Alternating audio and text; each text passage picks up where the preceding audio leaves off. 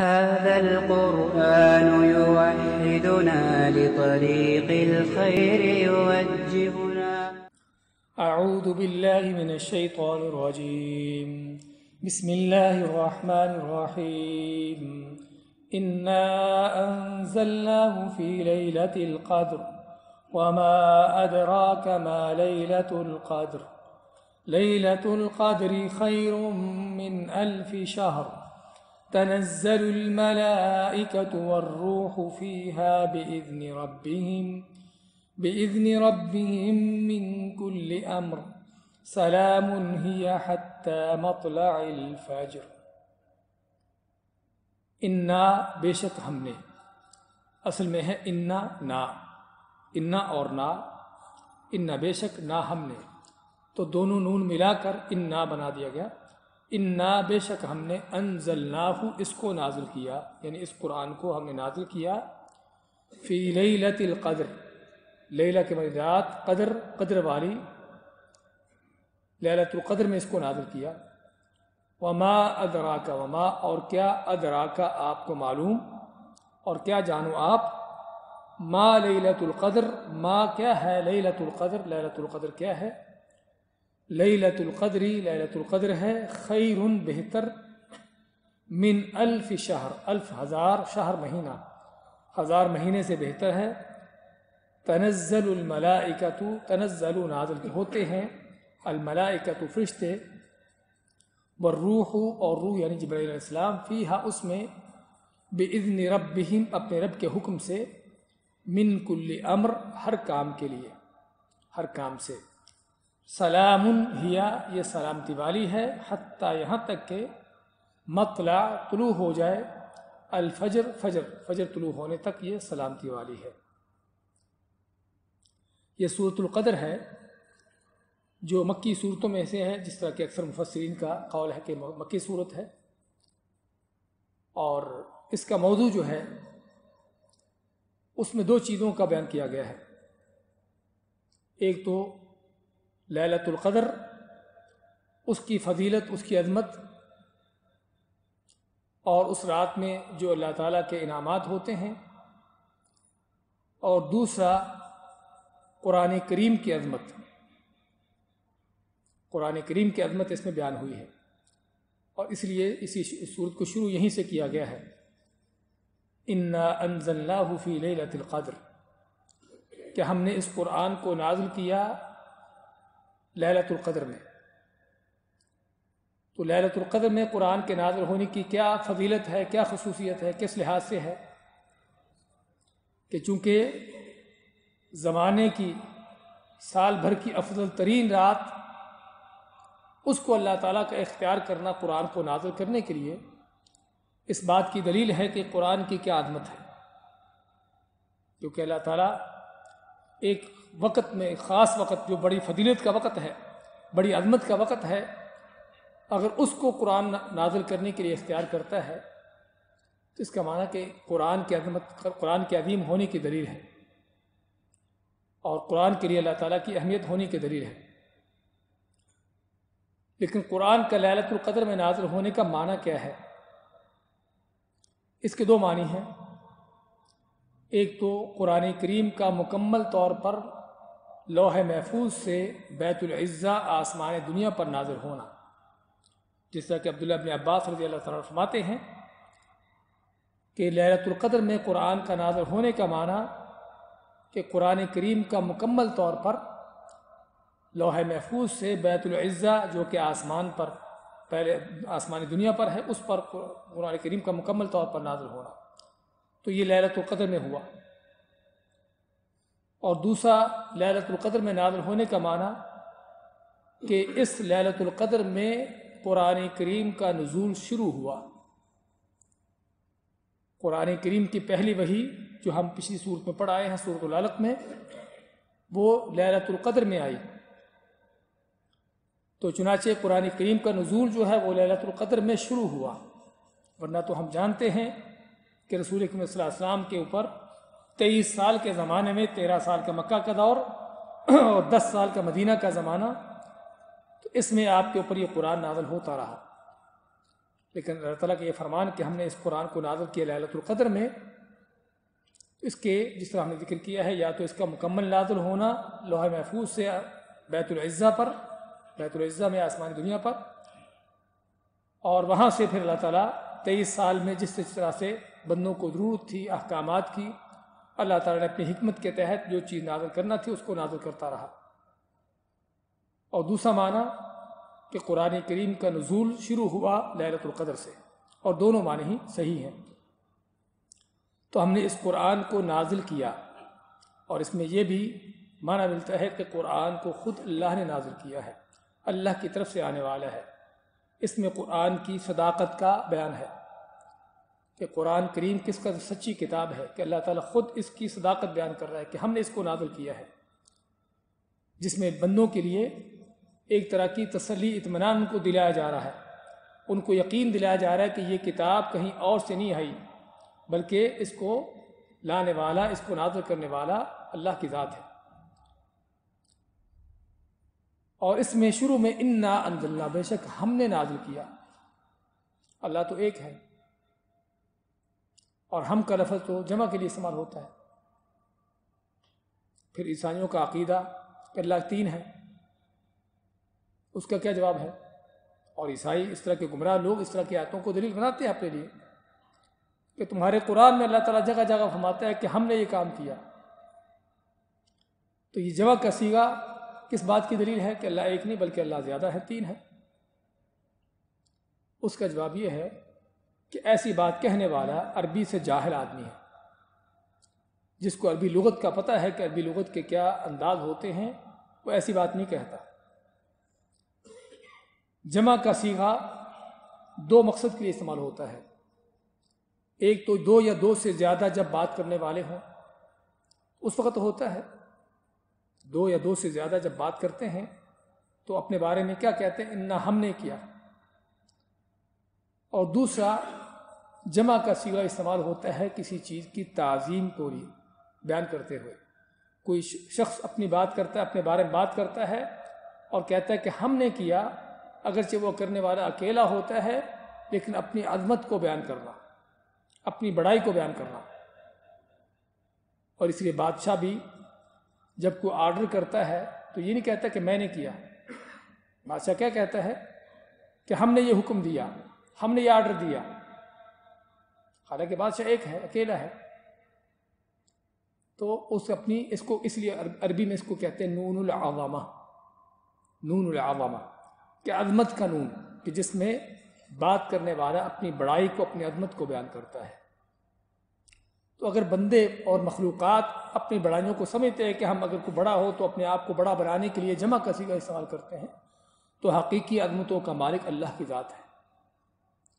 اس لیے اللہ تعالیٰ قرآن کریم میں بہت سی جگہوں پر اپنے لیے عظمت کا ینون استعمال کرتا ہے کہ ہم نے یہ کیا۔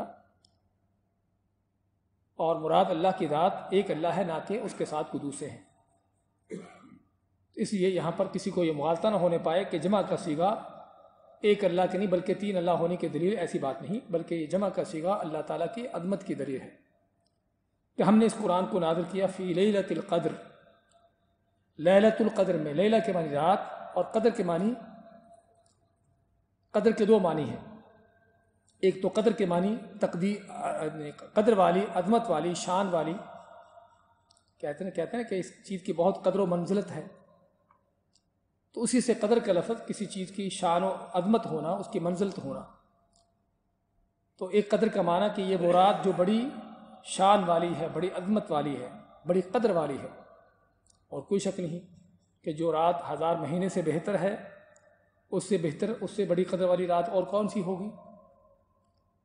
تو قدر سے مراد اس کی قدر و منزلت۔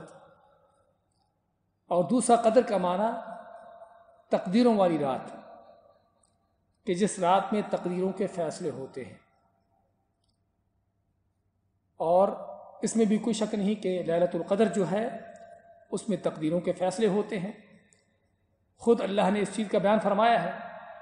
سعود دخان کے شروع میں اللہ نے ذکر فرمایا، انا انض اللہ فی مبارکت انا کنہ منظرین بے شک ہم نے اس قرآن کو نازل کیا بابرکت رات میں۔ بے شک ہم ڈرانے والے تھے۔ اس رات میں کیا ہوتا ہے؟ فی ہا یفراق کلو امر حکیم اللہ فرماتا ہے کہ اس رات میں ہر اہم کام کا، ہر حکمت کے کام کا فیصلہ کیا جاتا ہے۔ تو اس رات میں تقدیروں کے فیصلے ہوتے ہیں۔ اور تقدیر کے لکھے جانے کے مراحل ہم نے پہلے ذکر کیے ہیں کبھی کہ پانچ مراحل ہیں۔ پہلا مرحلہ وہ کہ جب اللہ نے قلم کو پیدا کیا، آسمان و زمین کو پیدا کرنے سے پچاس ہزار سال پہلے، اور قلم کو کہا کہ لکھ، اس نے کہا، کیا لکھوں؟ اللہ نمایا کہ جو کچھ قیامت تک ہونے والا ہے، اس کو لکھ دے۔ اور دوسرا مرحلہ، جب اللہ نے آدم علیہ السلام کو پیدا کیا اور ان کو پیدا کرنے کے بعد ان اس کی پشت سے ان کی روحوں انسانوں کی روحوں کو نکالا۔ تو یہ دوسرا مرحلہ جس میں تقدیر انسانوں کی مخلوقات کی لکھی گئیں۔ اور تیسرا، جب بچہ ماں کے پیٹ میں ہوتا ہے چار ماہ کا، چار ماہ کا حمل ہوتا ہے، تو اللہ تعالیٰ فرشتے کو بھیجتا ہے، جو فرشتہ رحموں پر مقرر ہے۔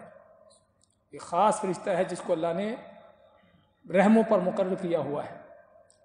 تو فرشتہ آتا ہے، اس میں روح ڈالتا ہے اور اللہ کے حکم کے ساتھ اس کی تقدیر لکھتا ہے۔ اس کی زندگی کتنا زندہ رہے گا، اس کی عمر کتنی ہوگی، اس کی روزی کیا ہوگی اور نیک ہوگا یا بد ہوگا۔ یہ تیسری تقدیر، چوتھی تقدیر یہ والی کہ جو سالانہ ہے، جو ہر لہلت القدر میں مقدر کی جاتی ہے۔ اور یہاں پر بھی صورت کے آخر میں اللہ نے فرمایا ہے کہ اس رات میں فشتے نازل ہوتے ہیں اپنے رب کے حکم سے من کل امر، ہر حکم کے ساتھ۔ جس میں اشارہ آ گیا کہ اس رات میں تقدیروں کے فیصلے ہوتے ہیں، اللہ فرشتوں کو نازل کرتا ہے ان تقدیروں کو نافذ کرنے کے لیے۔ اور پانچواں مرحلہ، یہ یومیہ تقدیر ہے جس کا اللہ نے صورت الرحمن میں ذکر کیا ہے۔ کل یومن ہوا فی شأن، کہ اللہ کی ذات ہر روز اس کا ایک شان ہے، اس کا ایک معاملہ ہے۔ اور لوگوں کے فیصلے کرتا ہے، کسی کو اونچا، کسی کو نیچا، کسی کو غریب، کسی کو امیر۔ تو یہ پانچ مراحل جو تقدیر کے لکھے جانے کے ہیں، اس میں یہ سالانہ تقدیر کا جو للت القدر میں ہے۔ تو اللہ ماتا ہے کہ بے شک ہم نے اس قرآن کو نازل کیا للت القدر میں، تقدیروں والی رات میں اور عظمت شان والی رات میں۔ اس سے ہمیں معلوم ہوا کہ للت القدر رمضان میں ہے یا شابان میں ہے؟ اس کا فیصلہ بھی ہم قرآن سے لیتے ہیں۔ اللہ ماتا ہے کہ ہم نے اس کو نازل کیا للت القدر میں۔ تو آئیے دیکھیے قرآن کس مہینے میں نازل ہوا؟ شاہ رمضان الذي انزل فيه القرآن۔ کہ رمضان کا مہینہ جس میں قرآن نازل ہوا۔ اب رمضان کے مہینے میں نازل ہوا اور للت القدر میں ہوا، اس کا معنی کہ للت القدر رمضان میں ہے، وہ شابان میں نہیں ہے۔ اور صرف شابان نہیں بلکہ بعض لوگوں نے اور بھی مہینوں کے اندر کہا ہے۔ مختلف علماء کے اقوال۔ کوئی کہتا ہے شابان میں ہے، کوئی کہتا ہے کسی اور مہینے میں ہے۔ اور یہاں سے ہمیں اندازہ ہوتا ہے کہ بعض اوقات اختلافات ایسے بھی ہوتے ہیں جن کی کوئی بنیاد نہیں ہوتی۔ بے بنیاد اختلافات۔ قرآن کے، قرآن و سنت کے بالکل دو ٹوک واضح فیصلے ہونے کے باوجود پھر بھی اختلاف۔ تو یہ وہ اختلاف ہے کہ جس کو ہمیں دیکھنے کی ضرورت نہیں ہے۔ ہاں اگر لوگ اس میں الجھے ہوئے ہیں تو ان کو بیان کریں گے۔ حقیقت بیان کریں گے، ورنہ ایسے ایسے اختلافات کو اختلاف سمجھا ہی نہیں جائے گا کہ جب قرآن و سنت میں ایک چیز کا دو ٹوک فیصلہ آ گیا ہے للت القدر کے حوالے سے ہی۔ اللہ نے بیان فرما دیا کہ ہم نے اس قرآن کو نازل کیا للت القدر میں، اور دوسری آیت میں بیان فرما دیا کہ قرآن نازل ہوا رمضان کے مہینے میں، تو دونوں آیتوں کو جمع کرنے سے معلوم ہوا کہ قرآن نازل ہوا للت القدر میں اور للت القدر ہے وہ رمضان میں۔ نہ شابان میں ہے، نہ کسی اور مہینے میں۔ تو اس میں اس طرح کی باتوں میں اختلاف کرنے کی گنجائش نہیں ہوئی۔ لیکن پھر بھی بعض لوگ، خصوصاً پندرہ شابان کو، کیا کہتے ہیں؟ شب برات۔ یہ فارسی کا لفظ ہے۔ اس کا آپ عربی میں ترجمہ کریں گے تو اس کا معنی بنتا ہے للت القدر۔ شب کے معنی لیلا فارسی میں، شب کے معنی، شب جس کو فارسی میں کہتے ہیں، اس کو عربی میں لیلا کہتے ہیں، اور قدر برات کہتے ہیں، اس کی برات جاگ پڑی۔ یہ بڑی برات والا ہے۔ برات کے معنی قسمت، تقدیر، نصیب۔ تو شب برات کا لفظی معنی ہی للت القدر ہے۔ صاف سی بات۔ اور اس لیے اس رات کے بارے میں لوگوں کے گمراہ کن لوگوں کے عقیدے بھی وہی ہیں۔ کہ اس رات میں تقدیروں کے فیصلے ہوتے ہیں۔ اس رات میں قسمت لکھی جاتی ہیں۔ اور اس پر ان کو دلیلیں ملتی ہیں۔ بعد من گھڑ من گھڑ قسم کی، ضعیف قسم کی حدیث ہے خیر، شب برات کے حوالے سے پہلی بات تو شب برات کا لفظ ہی من گھڑت ہے۔ اور ہے بھی صرف ہمارے ہی ادھر اس علاقے میں۔ عربی میں اس کا کوئی وجود ہی نہیں ہے۔ سمجھے نا؟ شب برات کا، اس لفظ کا عربی میں کوئی وجود نہیں ہے۔ عربی میں لالت القدر ہے۔ اور دوسری چیز، اس کے بارے میں عقیدہ رکھنا کہ اس رات میں کوئی تقدیریں لکھی جاتی اس طرح کی قسمتوں کے فیصلے ہوتے ہیں۔ سال بھر کے یہ بھی بے بنیاد چیز ہے۔ اس کے متعلق احادیث جتنی بھی ہیں، یا تو من گھڑت ہیں، موضوع ہیں، جھوٹ گھڑے ہوئے اللہ کے نبی پر یا اس قدر ضعیف ہیں کہ وہ قابل حجت نہیں ہے۔ خصوصاً اس حوالے سے کہ اس رات میں تقدیروں کے فیصلے ہوتے ہیں۔ اور نہ ہی اس رات کو خصوصی طور پر کوئی عبادتیں کرنے کی وہ حدیث صحیح ہے۔ اس بارے میں حدیثیں ہیں، عبادت کے حوالے سے بھی، لیکن ساری حدیثیں ضعیف ہیں۔ صرف اگر کسی حد تک ایک حدیث کسی حد تک قابل اعتبار ہے، تو صرف اس رات کی ایک فضیلت۔ جس میں اللہ کے نبی صلی اللہ علیہ وسلم نے کہ اس رات میں اللہ تعالیٰ اس قدر بندوں کی بخشش مغفرت کرتا ہے کہ جس قدر جو قلب قبیلہ ہے اربوں کا ایک، ان کی بکریوں کے بال ہوں، ان کی بکریوں کے جس قدر بال ہیں، اس قدر اللہ تعالیٰ کے بندوں کی بخشش مفرت کرتا ہے۔ یہ حدیث ہے جو کسی حد تک قابل اعتبار ہے، اگرچہ بعض علماء نے اس کو بھی ضعیف کہا ہے۔ باقی جتنی بھی حدیثیں ہیں پندرہ شابان کے حوالے سے جس کو شب برات کا نام دیا جاتا ہے، سبھی من گھڑت یا ضعیف حدیثیں ہیں، کوئی قابل اعتبار حدیث نہیں ہے۔ اور دوسری چیز کہ اگر کسی حد تک کوئی قابل اعتبار ہو بھی، کسی حد تک، تو کیا قرآن کا مقابلہ کرے گی؟ قرآن دو دو دو ٹوک وہی ہے، اس کا مقابلے میں لائیں گے اس کو۔ لیکن جب دل دماغ ٹیڑھے ہوتے ہیں اور آدمی گمراہ رستے پر چلا ہوتا ہے تو اس وقت اس کو پرواہ نہیں ہوتی کہ میں قرآن کو جھٹلا رہا ہوں اس کو ٹھکرا رہا ہوں، کیا کر رہا ہوں؟ تو اللہ کو لحال اس میں کوئی شک نہیں اور نہ ہونا چاہیے کہ للت القدر جو ہے، جس رات میں فیصلے ہوتے ہیں، وہ رمضان میں ہے شعبان میں نہیں ہے رمضان میں کب ہے؟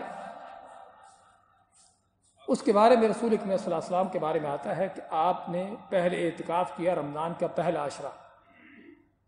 رمضان کا پہلا دھکا جو ہے یکم رمضان سے لے کر دس تک آپ نے رمضان کی اعتکاف کیا اس رات کو تلاش کرنے کے لیے۔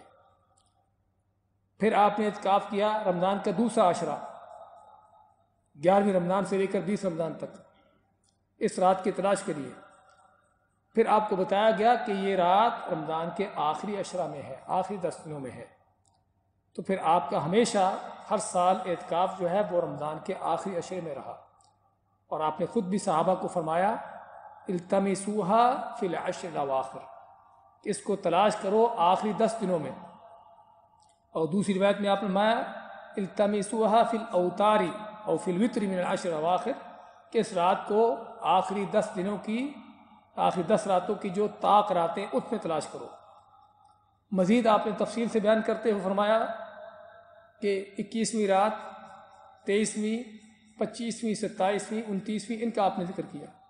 تو کہنے کا مقصد کہ یہ رات جو ہے للت القدر، ان رمضان کی آخری دس راتوں میں سے کوئی ایک رات ہے اور اس میں زیادہ تر امکان اس میں راتوں کا ہے اور راتوں میں بھی احادیث کی روح سے زیادہ امکان جو ہے وہ ستائیسویں کا ہے۔ جس طرح کہ صحیح مسلم کی حدیث ہے، وہ ابن کعب رضی اللہ تعالیٰ کی کہ وہ قسم کھا کے کہتے تھے کہ یہ رات جو ہے ستائیسویں رات ہے۔ اسی طرح اور بھی باقی دوسری احادیث بھی آتی ہیں کہ جس میں ستائیسویں رات کا ذکر آتا ہے۔ لیکن اگر ہم ساری حدیثوں کو جمع کرتے ہیں تو دیکھتے ہیں کہ صرف ستائیسویں رات نہیں بلکہ اور بھی راتوں میں آ سکتی ہے۔ نبی کریم صلی اللہ علیہ وسلم نے فرمایا کہ مجھے یہ رات دکھائی گئی ہے۔ اور میں نے دیکھا ہے، اس رات کی نشانی یہ دیکھی ہے کہ میں اس کی صبح کو، فجر کو میں سجدہ کروں گا کیچڑ میں، کیچڑ سے مراد یعنی پانی مٹی کے اندر۔ اکیسویں رات تھی، رمضان کی اکیسویں رات تھی۔ اس کی فجر فجر کے آپ جب نماز پڑھاتے ہیں آپ، تو رات کو معمولی بارش ہوتی ہے اور مسجد نبی کی چھت جو ہے، وہ کھجور کے پتوں کی تھی۔ تو پانی نیچے ٹپکتا ہے اور آپ نے جہاں پر سجدہ کیا، وہاں پر کوئی تھوڑا پانی تھا آپ کا خواب پورا ہوا جو آپ نے دیکھا تھا کہ آپ نے جہاں سجدہ کیا وہاں پر وہ پانی مٹی کیچڑ تھا، تو وہاں پر آپ نے سجدہ کیا۔ اس کا معنی کیا ہوا کہ رات اکیسویں میں تھی۔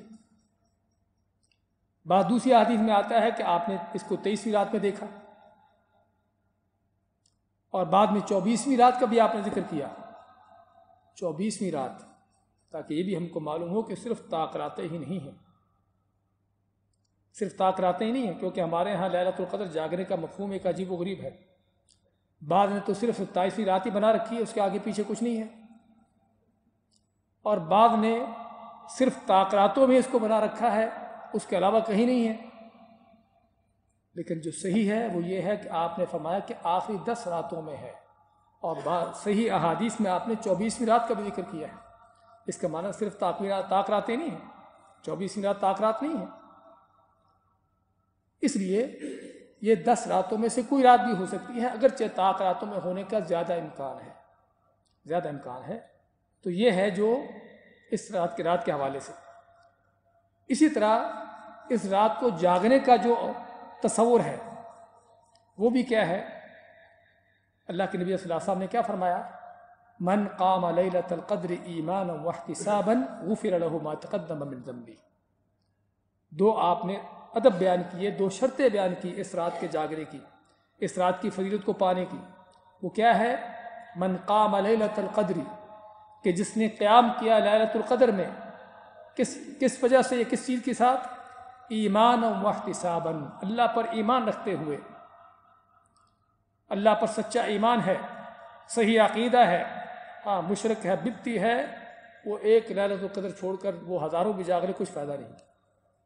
بنیادی شرط ایمان ہے، عقیدہ ہے، صحیح توحید ہے۔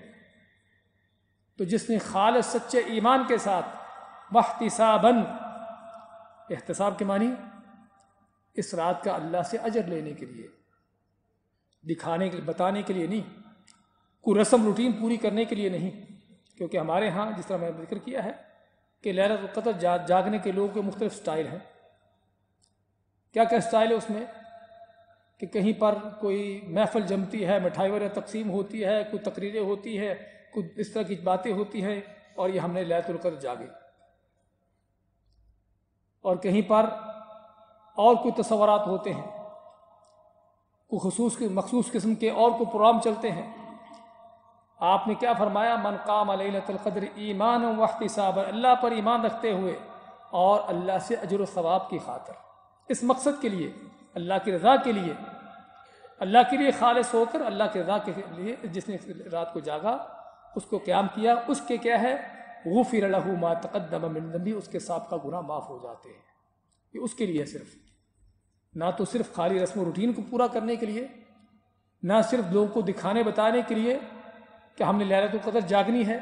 پہلے سے ہی اعلان ہو جاتے ہیں، مشہوری ہو جاتی ہے۔ اور نہ ہی اس میں کوئی اپنے خاص بدعات اس طرح کے کام کرتے ہو، بلکہ سنت کے مطابق۔ اس رات کو جاگتے ہوئے جو اس رات کو گزارتا ہے، اس کے اللہ تعالیٰ صاحب کا گناہوں کو معاف کرتا ہے۔ تو بات کر رہے تھے کہ یہ ہے لہرت القدر۔ ماتا اللہ تعالیٰ، انا انض اللہ فی لہلت القدر۔ ہم نے نازل کیا اس قرآن کو لہلت القدر میں۔ وما ادرا کما لہلت القدر۔ کہ تم کیا جانو کہ لہلت القدر کیا ہے؟ یہ سوال، وما ادرا کا تم کیا جانو؟ تمہیں کیا معلوم؟ کس چیز کے لیے ہے؟ لہلت القدر کی عظمت کو ظاہر کرنے کے لیے۔ اور یہ قرآن کا انداز ہے کہ کوئی چیز خطرناک ہو، اس کے خطرے کو بیان کرنے کے لیے، یا کوئی چیز بہت عظیم ہو، اس کی عظمت کو ظاہر کرنے کے لیے یہ انداز بنایا جاتا ہے۔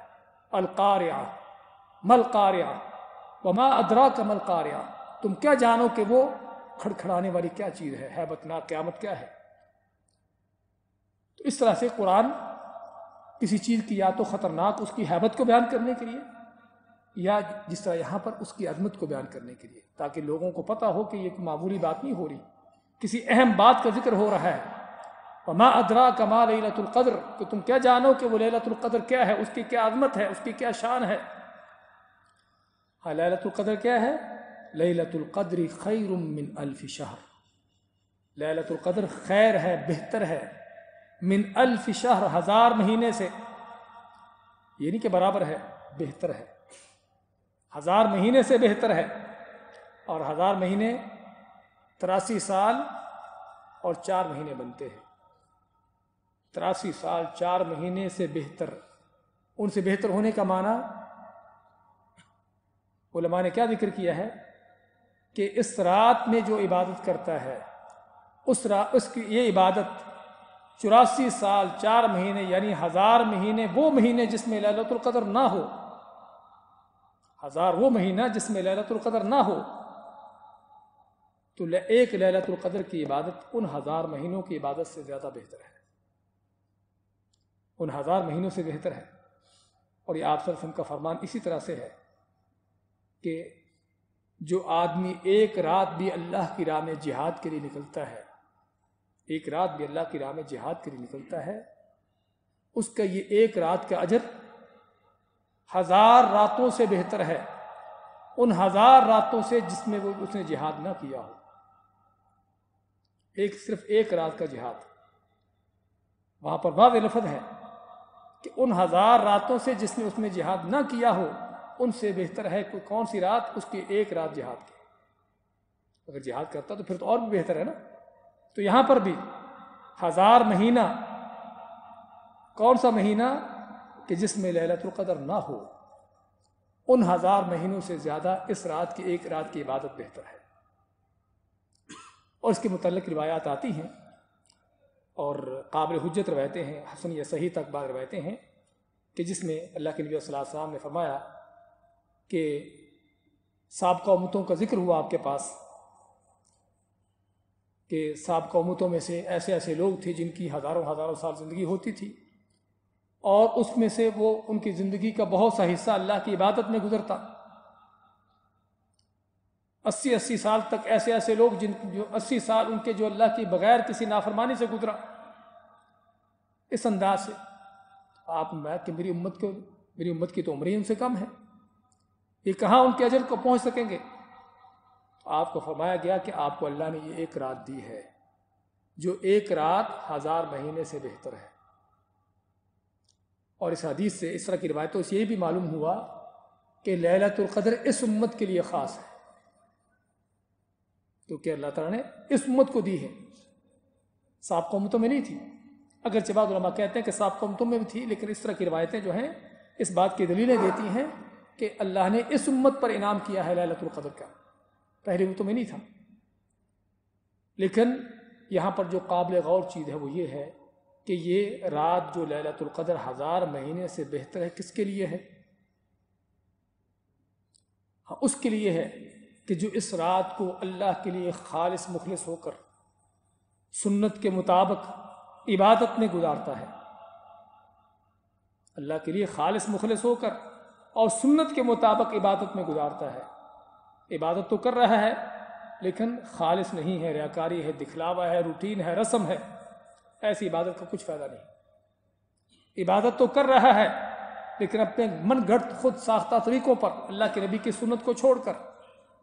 ایسی عبادتوں کا اللہ کے ہاں کوئی اس کا وقار، اس کا کوئی معیار نہیں تو جو آدمی اس رات کو عبادت کرتا ہے اور عبادت اللہ کے لیے خالص ہو کر اور سنت کے مطابق کرتا ہے، اس کے لیے یہ رات بہتر ہے۔ اور جو سو کر گزار دے، اس کے لیے ایسے ہی ہے جس طرح باقی رہتے ہیں۔ جو اپنے دنیا کے کاموں میں اس کو گزار دے، جائز کاموں کے اندر بغیر عبادت کیے، اس کے لیے بھی ایسی ہے جس طرح باقی رہتے ہیں۔ اس کے لیے ہزار مہینے سے بہتر نہیں ہے۔ اور جو اس کو بدکاری، بے حیائی میں گزارے، وہ فلمیں دیکھتے ہوئے فیس بک پر، یوٹیوب پر، یا اس طرح کی بدکاری دیکھتے ہوئے فلم میوزک سنتے ہوئے اور کوئی بےحدہ محفلیں جماتے ہوئے۔ اس انداز سے اس کو گزارتا ہے اس کے لیے نہ کہ ہزار مہینے سے بہتر بلکہ بدتر ہے۔ بدتر ہونے کی کیا دلیل ہے؟ کہ اللہ تعالیٰ کے ہاں اگر اللہ تعالیٰ کسی چیز کو مرتبہ مقام دیتا ہے، کسی وقت کو، کسی جگہ کو، اور آدمی اس جگہ کی، اس وقت کی بے حرمتی کرتا ہے، تو جس قدر اس وقت کے اندر اجر و ثواب ہوتا ہے نیکی کرنے کا، اسی قدر اس کی برائی کرنے کا گناہ بھی زیادہ ہوتا ہے۔ اللہ تعالیٰ نے حرم کے بارے میں کیا فرمایا؟ بیت اللہ کے بارے میں کیا فرمایا؟ وَمَن يُرِدْ فِيهِ بِإِلْحَادٍ بِظُلْمٍ نُذِقْهُ مِنْ عَذَابٍ علیم کہ جو اس جگہ پر ظلم کا ارادہ بھی کرے گا الحاد کفر بے ایمانی کا ارادہ بھی کرے گا، اللہ فرماتے ہیں کہ ہم اس کو دردناک عذاب چکھائیں گے۔ حالانکہ ہم اسلام کے قواعد، اسلام کے جو اصول ہے اس میں جانتے ہیں کہ صرف برائی کا ارادہ کرنے سے ہی برائی گناہ نہیں لکھا جاتا۔ گناہ کب لکھا جاتا ہے؟ جب آدمی برائی کر لیتا ہے۔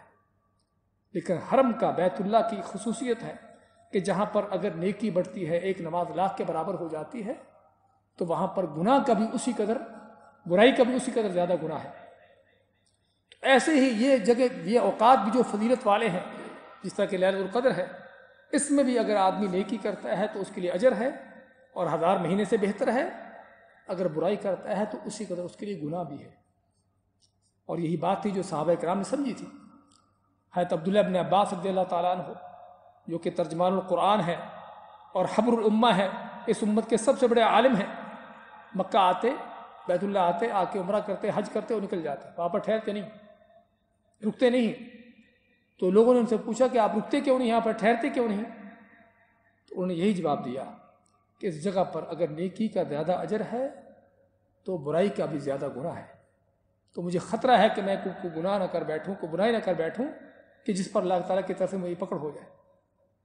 تو بات کر رہے تھے کہ یہ رات ہزار مہینے سے بہتر ضرور ہے، لیکن اس کے لیے ہے کہ جو اس رات کو اللہ کی اطاعت میں، عبادت میں، سنت کے مطابق اور اللہ کے لیے خالص مخلص ہو کر گزارتا ہے۔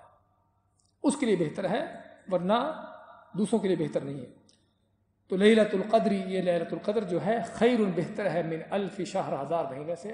اور یہ بھائیوں بہت بڑا انعام ہے۔ تو معمولی سی بات نہیں ہے۔ اس لیے اللہ کے نبی صلی اللہ علیہ وسلم نے کیا فرمایا دوسری حدیث میں؟ آپ نے جب رمضان کی فضیلت بیان کی، تو اس میں آپ نے یہ بھی فرمایا کہ اس مہینے کے اندر فی ہی للت القدری کہ ایسی رات ہے جو للت القدر ہے، جو ہزار مہینے سے بہتر ہے۔ من خوری مہا فقد خورم من خوری خیرہ فقد خورم کہ جو اس رات کی خیر کو نہ پا سکا، اصل بدبخت وہ شخص ہے۔ اصل محروم وہ ہے کہ جو اس رات کی برکت سے، اس کی رات کی فضیلت سے محروم ہو گیا۔ اس لیے اس رات کو ضائع کر دینا، اس کو نہ پانا، اس کو، اس کے لیے کو تلاش نہ کرنا انسان کی یعنی کہ اس کی محرومی کی دلیل ہے۔ نبیوں کے سردار، جہانوں کے امام، جن کا کوئی گناہ نہیں تھا، جن کو اللہ نے پہلے سب سے اونچے مقامات دے دیے ہوئے تھے، آپ اس رات کو تلاش کرنے کے لیے اعتکاف بیٹھتے تھے۔ صرف اس رات کو تلاش کرنے کے لیے آپ کا اعتکاف ہوتا تھا۔ چلو، اعتکاف کرنے کا اگر ٹائم نہیں ملتا، مصروفیت ہے کہ ڈیوٹیاں ہیں، کوئی اس طرح کے معاملات ہیں، کم کم رات کو تو تلاش کیا جائے۔ اس رات کو تلاش کرنے کی کوشش کی جائے۔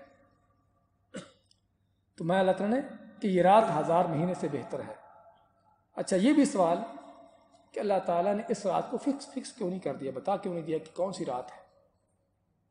اور اللہ نے بتایا تھا آپ کو، جس طرح کہ صحیح حدیث میں آتا ہے، تو بعد مسامت کی حدیث ہے کہ آپ اللہ کے نبی صلی اللہ علیہ وسلم نے فرمایا کہ اللہ نے مجھے اس رات کا علم دیا تھا اور میں تم کو بتانے آ رہا تھا، لیکن رستے میں کچھ دو آدمیوں کو جھگڑا تھا، اس، ان کے جھگڑے کو طے کرنے لگ گیا تو اللہ نے میرے مجھ سے اس رات کا علم اٹھا لیا۔ یعنی آپ کو بھول گئی کہ رات کون سی تھی۔ اور یہ اللہ کی حکمت تھی۔ اس لیے آپ میں کہ اللہ خیر الکم کہ شاید تمہارے اسی میں بہتری ہو۔ اس رات کا علم اٹھ جانا ہی اسی میں تمہارے لیے بہتری ہو۔ بہتری کس لحاظ سے؟ اس کو علماء نے دو چیزیں بیان کی ہیں۔ ایک تو اللہ تعالیٰ تاکہ یہ دیکھ لے کہ کون کتنا سچا ہے اس رات کو تلاش کرنے میں۔ اگر کوئی ایک رات فکس ہوتی تو ہر ایک کے لیے جاگنا مشکل نہیں تھا۔ لیکن پوری دس راتوں کو جاگنا، یا کم از کم تاک راتوں کو پانچ کو جاگنا، یہ وہی کرے گا جو واقع ہی اس رات کو تلاش کرنے میں سچا ہو۔ سچے دل سے اس کو اس رات کو تلاش کرنا چاہتا ہو۔ اس کے لیے مشکل نہیں، چاہے دس چھوڑ کر اور بھی زیادہ بھی راتے ہو تو تاکہ ایک تو امتحان ہو جائے بندوں کا کہ کون کتنا سچا ہے اس رات کو پانے میں تلاش کرنے میں۔ اور دوسرا کہ بندے تاکہ زیادہ نیکی کر سکے، زیادہ عمل کر سکے۔ ایک ہی رات ہوتی، ستائیسویں رات ہے، ٹھیک ہے، رات کو جاگے اور بات ختم ہو گئی۔ لیکن دس راتوں میں جاگیں گے۔ اس رات کو تلاش کرتے ہوئے اور یقینی طور پر جو سنت کے مطابق اللہ کے لیے خالص، مخلص ہو کر دس راتیں جاگتا ہے، اس کو یقینی طور پر یہ رات مل جاتی ہے۔ یہ رات اس کو مل گئی، لیکن صرف یہ رات نہ ملی، اس کو نو اور راتوں کا بھی اجر مل گیا۔ پانچ راتیں چلو جاگتا ہے تاک راتیں، تو یہ لالت القدر ایک رات تو اس کو ملی، اس کے ساتھ چار اور راتوں کا بھی اجر مل گیا۔ اور اللہ تعالیٰ خود چاہتا ہے کہ بندے زیادہ نیکی کریں۔ تو اللہ تعالیٰ کی اس میں حکمت ہے۔ ورنہ اللہ بیان کر سکتا تھا کہ فلاں رات ہے۔ لیکن اللہ نے اس کا علم اس لیے ہم کو نہیں دیا، یہ دینے کے بعد پھر اٹھا لیا تاکہ بندے زیادہ نیکی کر سکیں۔ اس رات میں ہوتا کیا ہے؟ اللہ مات تنزل الملائکت والروح فیہا بإذن ربهم من کل امر۔ تنزل نازل ہوتے ہیں۔ اور تنزل کا لفظ یہ معنی دیتا ہے کہ ایک بار نہیں، بلکہ باری باری۔ ایک کے بعد دوسرا، دوسرے کے بعد تیسرا۔ یعنی پوری رات فرشتے نازل ہوتے رہتے ہیں۔ تنزل الملائکت والروح فیہا۔ فرشتے نازل ہوتے ہیں اور روح روح سے مراد جبرائیل علیہ السلام، جس طرح کہ جمہور مفسرین کا قول ہے۔ کہ ان کے ان سے مراد جبرائیل۔ اب وہ بھی فرشتے ہی ہیں۔ لیکن اللہ نے ان کی شان و منزلت کی وجہ سے ان کا الگ سے ذکر کیا کہ جی، فرشتے اور روح علیہ السلام یعنی جبرائیل السلام نازل ہوتے ہیں فیہا اس میں بِإِذْنِ رَبِّهِمْ اپنے رب کے حکم سے۔ اس کا معنی کہ فرشتے خود نازل ہی ہو رہے اللہ ان کو خود حکم دے رہا ہے کہ تم جاؤ۔ ان کو خود نازل کر رہا ہے۔ اور یہ لفظ ہم کو بہت بڑا معنی دیتا ہے بھائیو۔ کہ فرشتے اللہ کے حکم سے نازل ہو رہے ہیں۔ اللہ تعالیٰ خود ان کو آرڈر دے رہا ہے کہ تم جاؤ زمین پر۔ اس کا معنی کیا ہے؟ کہ اس رات کے اللہ کے ہاں کیا اہمیت ہے؟ اللہ کے ہاں اس رات کا کیا مقام ہے؟ کیا شان ہے؟ اللہ خود اس رات کا کس قدر اہتمام کر رہا ہے؟ اس رات کا خود اللہ کس قدر اہتمام کر رہا ہے کہ آسمانی مخلوق فرشتوں کو زمین پر بھیج رہا ہے۔ خود ان کو بھیج رہا ہے اپنے حکم سے۔ اگر فرشتے خود آ جاتے تو کہنے والا کہتا کہ ٹھیک ہے، وہ خود آ گئے۔ اللہ نے ان کو حکم تو نہیں دیا، لیکن جہانوں کا رب خود ان کو بھیج رہا ہے۔ جو اس بات کی دلیل ہے کہ اللہ کے ہاں اس رات کا کیا اہتمام ہے۔ اب اللہ کے ہاں تو اس قدر اہتمام ہو کہ اللہ فرشتوں کو بھیج رہا ہو اور فرشتے آ رہے ہوں زمین پر۔ زمین فرشتوں سے بھر رہی ہو۔ حتیٰ کے بعد روایتوں میں جس طرح آتا ہے، آپ نے مایا کہ اس قدر فرشتے نازل ہوتے ہیں کہ جس قدر زمین کے کینکر ہیں، ان سے زیادہ فرشتے ہوتے ہیں۔ تو اللہ کے ہاں تو اس رات کی یہ عظمت ہو، اس قدر اہتمام ہو، فرشتوں کے ہاں اس قدر اہتمام ہو، اور اور ہم آگے سے سوئے رہیں۔ ہمیں اس رات کی پرواہی نہ ہو کہ دنیا کے کاموں کے اندر، بیکار محفلوں کے اندر اس رات کو گزار دیں۔ کس قدر انسان کی محرومی ہے کہ جہانوں کا رب اس رات کا اتنا اہتمام کر رہا ہو۔ تو اللہ ماتے ہیں، تنزل الملائکت والروح فیہا، کہ اللہ فرشتوں کو، ان کے سردار کو، جبرائیل کو بھی ساتھ اپنے حکم سے، اپنے رب کے حکم سے نازل ہوتے ہیں من کلی امر ہر کام کے لیے۔ ہاں یہ جملہ اس بات کی دلیل ہے کہ یہ تقدیروں کی رات ہے، یہ فیصلوں کی رات ہے۔ سال بھر کے آپ کے جو فیصلے اس رات میں ہونے ہیں، اور کچھ بھی نہیں، نیکیاں آپ کے پاس بہت زیادہ ہیں، اور نیکیوں کی شاید ضرورت نہ ہو آپ کو۔ لیکن کم از کم کچھ سال بھر کی قسمتوں کو ہی بہتر بنانے کے لیے جاگ لیں کچھ سال بھر کی قسمتوں کو بہتر بنانے کے لیے اس رات کو جاگیں۔ اس میں دعا کر لیں۔ اور اس رات کی دعا بھی بڑی عظیم ہے۔ اس لیے حضرت عائشہ نے فرمایا کہ اللہ کے نبی صلی اللہ علیہ وسلم، اگر یہ رات مجھے مل جائے تو میں کیا کہوں؟ کیا دعا پڑھوں؟ آپ نے کیا دعا سکھائی؟ اللہ عفو تحب العفو فاعف عنی۔ آپ نے یہ دعا سکھائی۔ اللہ اے اللہ ان کا تو بہت معاف کرنے والا ہے۔ تو حب العفو، معافی کو پسند کرتا ہے۔ فعفو عنی، پس مجھے معاف کر دے۔ اس میں کریم کا لفظ بھی آتا ہے، لیکن وہ صحیح نہیں ہے۔ کریم کا لفظ افون کریم کا آتا ہے، لیکن وہ کریم کا لفظ ثابت نہیں ہے۔ تو یہ دعا آپ نے حضرت عائشہ کو سکھائی۔ کہ اگر تم کو یہ رات مل جائے تو تم یہ دعا پڑھو۔ اب ملنے کا معنی کیا ہے؟ کہ تم اس رات کو تلاش کرتے ہو یہ دعا پڑھو۔ اس رات کو جاگتے ہو یہ دعا پڑھو۔ اور اس دعا میں بھی آپ نے کیا سکھایا؟ کہ دنیا کا مال و دولت نہیں۔ اصل مومن کا سرمایہ آخرت ہے۔ اللہ کی طرف سے بخشش معافی ہے۔ اللہ کی مغفرت ہے۔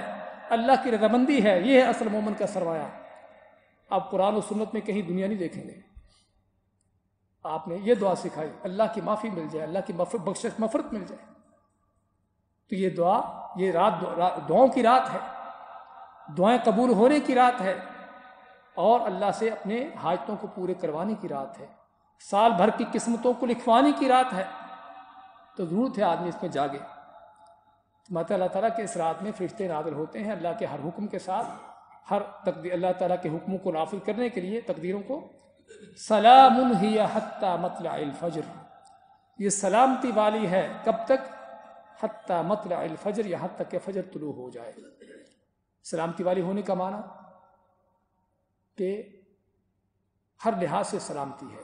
اللہ کی طرف سے سلام ہے، فرشتوں کی طرف سے سلامتی ہے۔ اور بعض روایتوں میں یہ بھی آتا ہے کہ فرشتے بندوں کو سلام کہتے ہیں۔ ایک تو وہ سلام جو ظاہری طور پر سلام ہے، دوسرا وہ سلامتی جو اللہ کی طرف سے ہے کہ بندوں کے لیے اس میں سلامتی کے فیصلے ہوتے ہیں۔ آپ کہیں گے سلامتی کے فیصلوں کے ساتھ تباہی کے فیصلے بھی ہوتے ہیں۔ کسی کے تباہی کے فیصلے بھی ہوتے ہیں، نقصانات کے فیصلے بھی ہوتے ہیں۔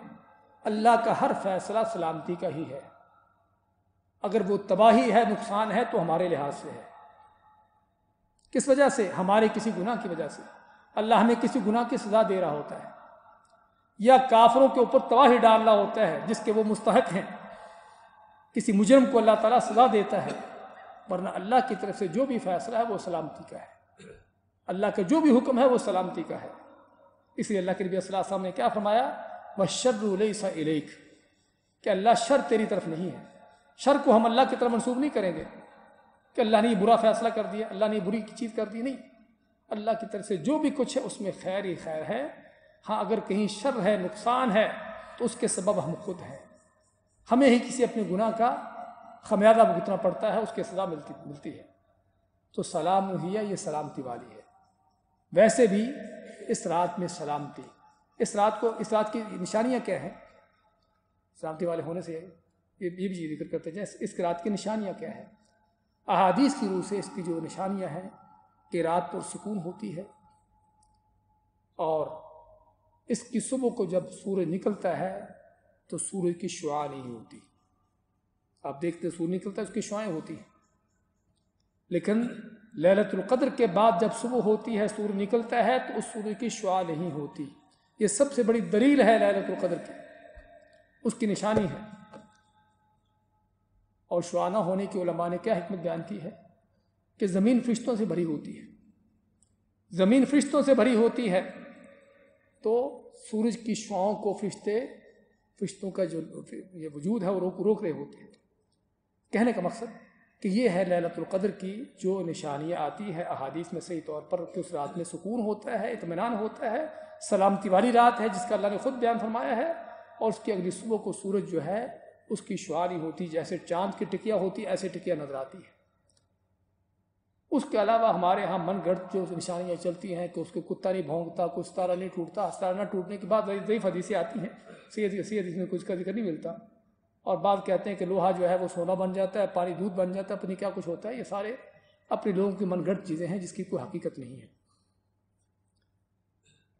تو یہ ہے سلامتی والی، یہ سلام انہیا یہ سلامتی والی رات ہے۔ حتیٰ مطلع الفجر، فجر طلوع ہونے تک۔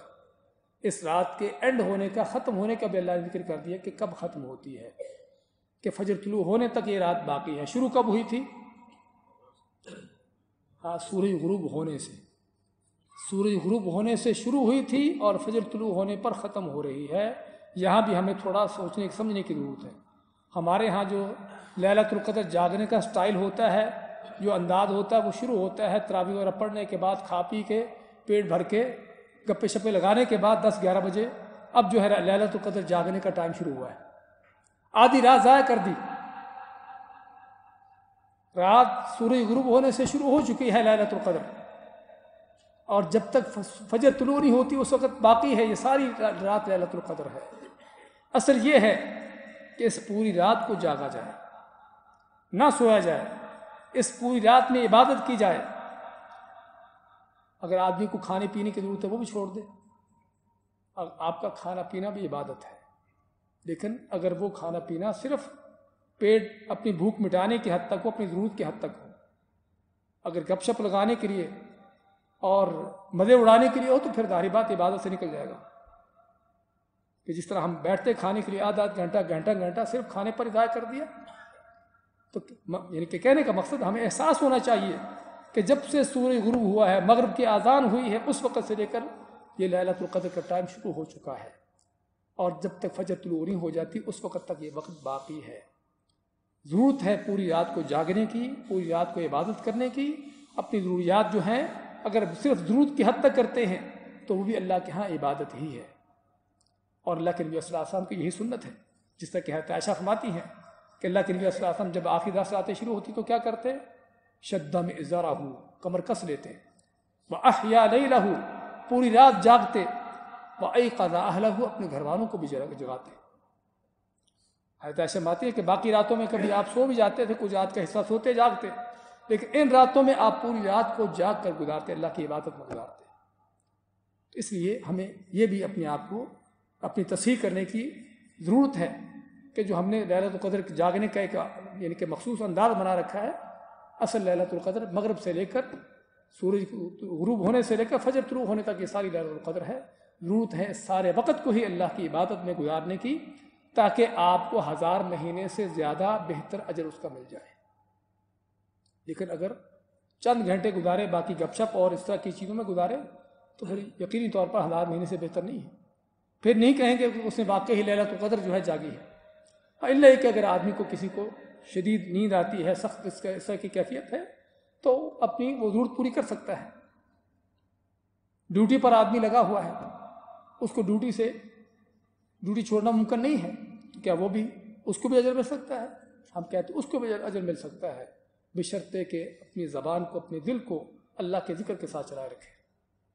ہاں ڈیوٹی تو کر رہا ہے، لیکن اس کا دل، اس کا، اس کی زبان جو ہے اللہ کے ذکر میں ہے، اس کا دل اللہ کے ساتھ ہے۔ ہاں تو اللہ تعالیٰ اس کے لیے اس کے اجر سے محرومی رکھے۔ گا تو یہ ہے لہلت القدر کے حوالے سے، جس کو ہمیں سمجھنے کی ضرورت ہے۔